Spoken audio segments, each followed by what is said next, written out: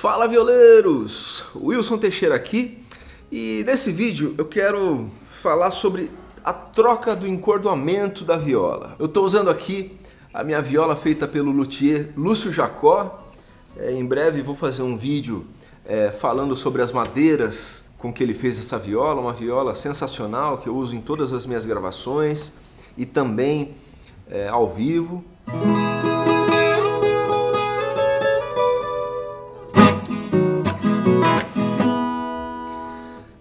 Enfim, ela tá com as cordas bem antigas, né? já está perdendo um pouco o timbre. Então nesse vídeo a gente vai trocar as cordas, certo? Então, primeira coisa, eu quero mostrar esse artifício aqui que eu costumo usar. Não sei se dá para ver bem aqui, Rafa, dá uma olhadinha. Esse aqui é um uma manivelinha, né, pra gente ir trocando usar aqui na, nas, nas cravelhas para ir trocar, eu fortemente dou a sugestão que você compre um, um, um artifício desse aqui, porque senão você vai ter que ficar rosqueando ali né, com, com, com a mão e vai dar muito trabalho, tá bom? E a minha sugestão de corda é que você use a corda NIG, tá bom? Corda NIG, no caso eu estou usando para cebolão em Mi, então, né, para a afinação que você for usar. Se for cebolão em Mi, enfim, cada encordoamento é, é específico, né, tem a sua especificidade para cada afinação. Seguinte, como essa viola feita pelo Lúcio Jacó, ela já tem um captador, né, ele colocou o captador para mim da Fishman, e o captador fica bem embaixo do rastilho, para que não haja nenhuma movimentação do captador, né, que é um fiozinho que fica bem embaixo aqui do rastilho, eu vou trocando corda por corda, entendeu? Então eu troco primeiro o quinto par, depois tiro né, o, quarto, o quarto par, a corda velha, arranco fora, coloco o quarto par novo, tiro o terceiro par, coloco né, a corda nova, vou tirando um por um e colocando novo. Para quê? Para não ter uma movimentação desse fiozinho do captador que está embaixo do rastilho, certo? Isso para não ter uma alteração aí da posição do captador, para manter ele certinho, beleza? E para a gente perceber assim uma diferença de timbre, né, eu vou tocar um pouquinho com a viola com as cordas velhas agora e no final eu toco com as cordas novas para vocês perceberem como realmente o tempo vai oxidando as cordas, vai deixando as cordas velhas e dá uma diferença de timbre, tá? Vou tocar a introdução da minha música Canção de Estrada.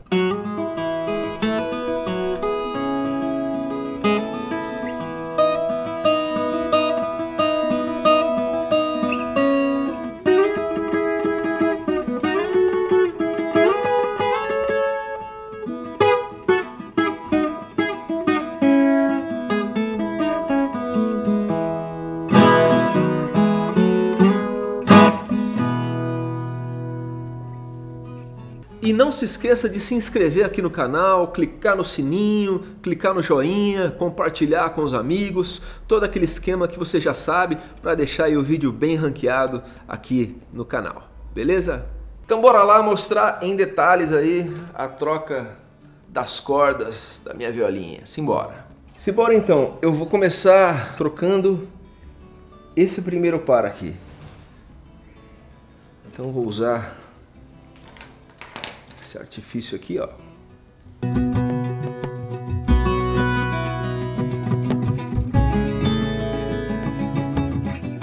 Afrouxou um pouquinho. Passo para a segunda, para de cima, né? Para soltar o par, né? As duas cordas do primeiro par. Na hora que tiver soltinha, venho com alicate e corto uma por uma aqui, ó. Isso pra gente ir rapidinho, né? Pra não ficar demorando demais.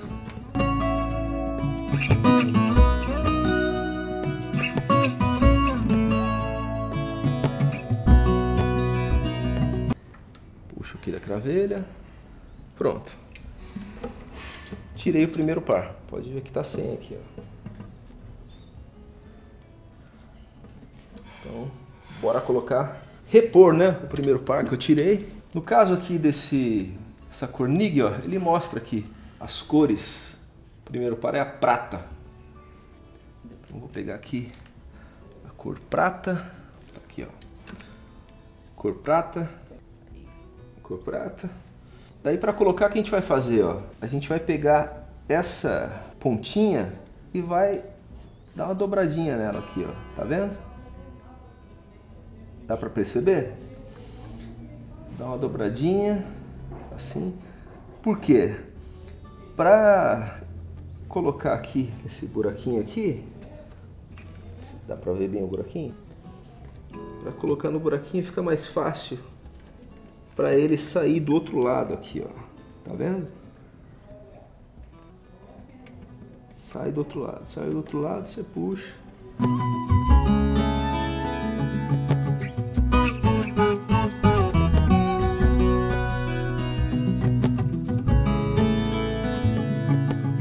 Colocou, deixa Dá uma olhadinha aqui, ó, no corpo da viola. Que eu tô deixando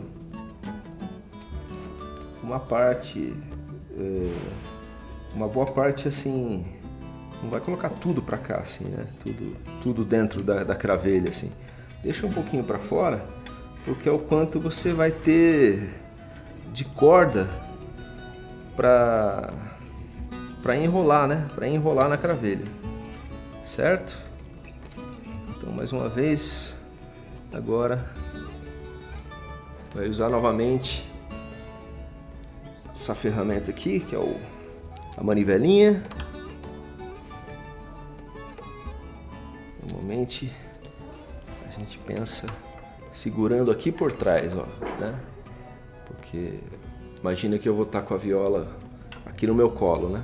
Tô com a viola no meu colo aqui, certo? Então para é, apertar, né? Eu vou apertar virando a cravelha aqui para frente, certo? Aqui para frente. Então a gente vai girar para frente aqui, ó.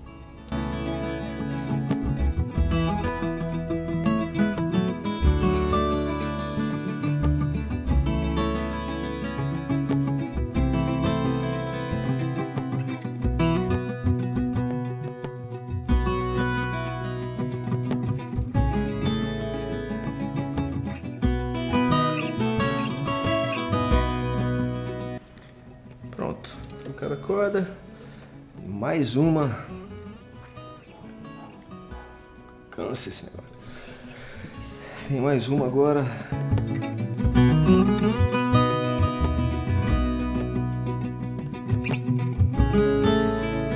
Entorta um pouquinho a pontinha. Bora lá, coloca, ela sai aqui do outro lado.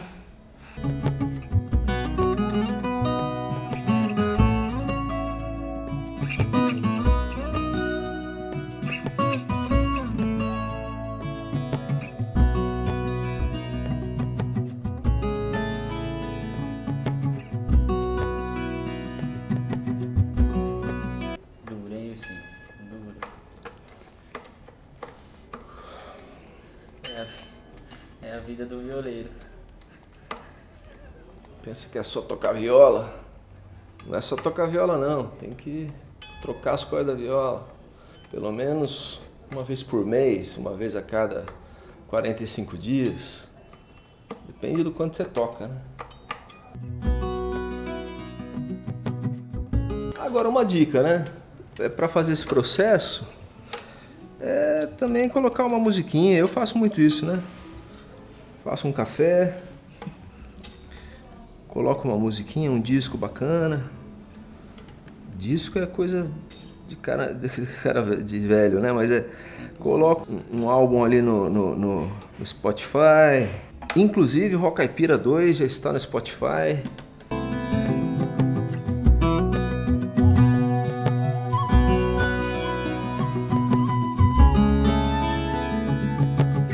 a gente vai trocar o segundo par. Da viola.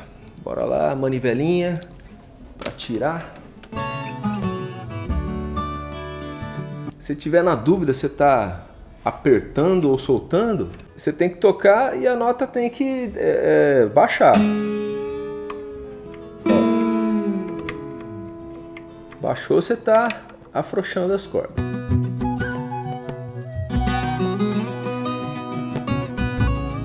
Próximo passo, alicate, cortar as cordas, cuidado para não cortar a corda errada.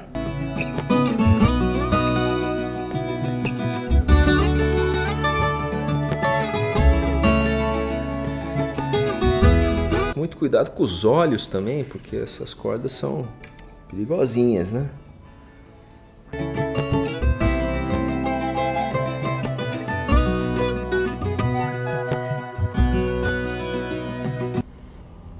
Bora lá, segundo par agora, par, esse par roxinho aqui, dá pra ver?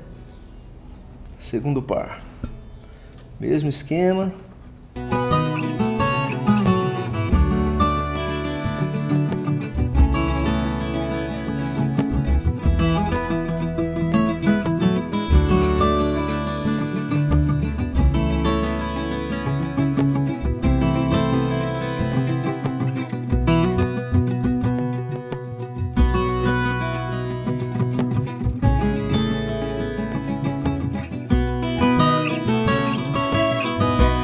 Bora lá seguindo, mesmo esquema, faço aquela dobra na pontinha para entrar mais facilmente aqui.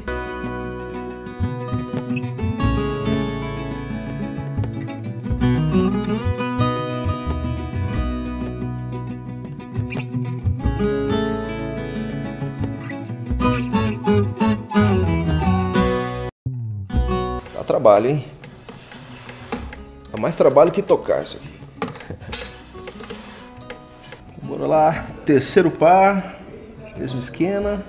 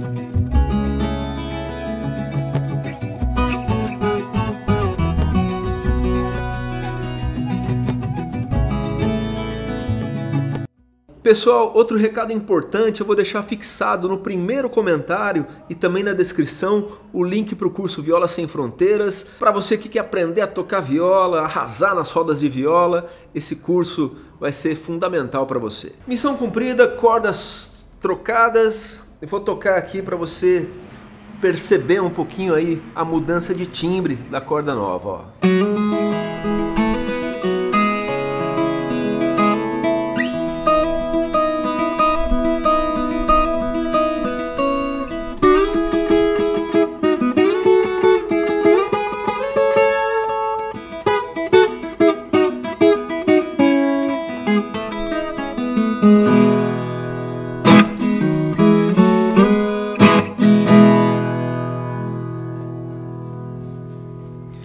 Eu sou Wilson Teixeira, esse foi um vídeo aí mostrando como trocar as cordas, espero ter ajudado. Deixa aí nos comentários se você gostou desse tipo de conteúdo e eu te vejo no próximo vídeo.